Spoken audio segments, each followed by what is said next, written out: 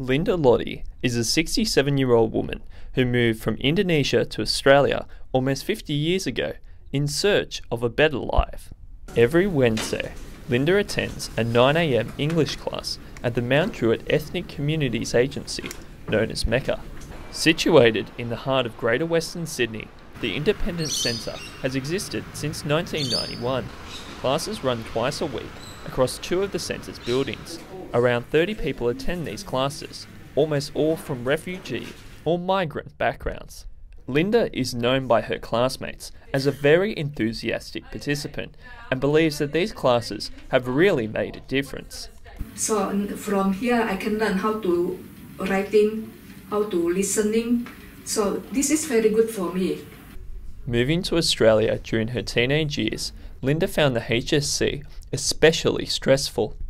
When I come home to study English, maybe take, maybe people only take one hour understand what I have to took how many days to understand.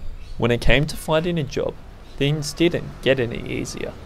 They are, telling me need the local experience, but if you don't give me the job, how come how can I can have local experience here? It is based on these stories that MECA decided to run the classes, hoping to equip their visitors with the skills needed to enter and remain in the Australian job industry.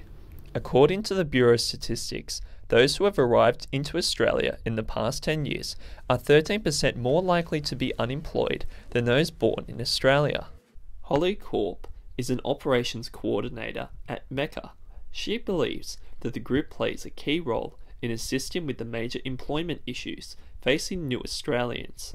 Everyone is different and trying to access old records and uh, trying to marry up the, the qualifications from overseas. And it's a really difficult process. Um, often this means that people who have exceptional skills and exceptional qualifications end up working in positions that are much lower than what their skill level is. Nazmin Ismail also attends MECA's classes. Born in Afghanistan, she was a teacher before the rise of Al Qaeda forced her to flee to Australia in 1998. Since moving, she has found it virtually impossible to find work due to a permanent injury. After that, uh, both of shoulder is uh, torn. Um, we can't work. Centrelink gave me disability. Doesn't work. Over the next 18 months, MECA's work will become even more crucial, with the New South Wales government projecting a 39% increase to its refugee population, many of whom will be relocated into Western Sydney. And what advice did the MECA visitors have for new refugees seeking work in Australia? Talk to the people, don't feel you are uh, lost confident. You know, you have to have confidence in, in, in yourself. I want to get government uh, uh, help with the re- refugee. Refugees very good people. And all people in here is very help help us people.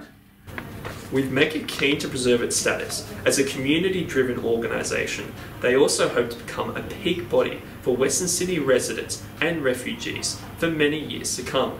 This is especially significant considering the increasingly diverse nature of the region. Keith Parker reporting for On the Job.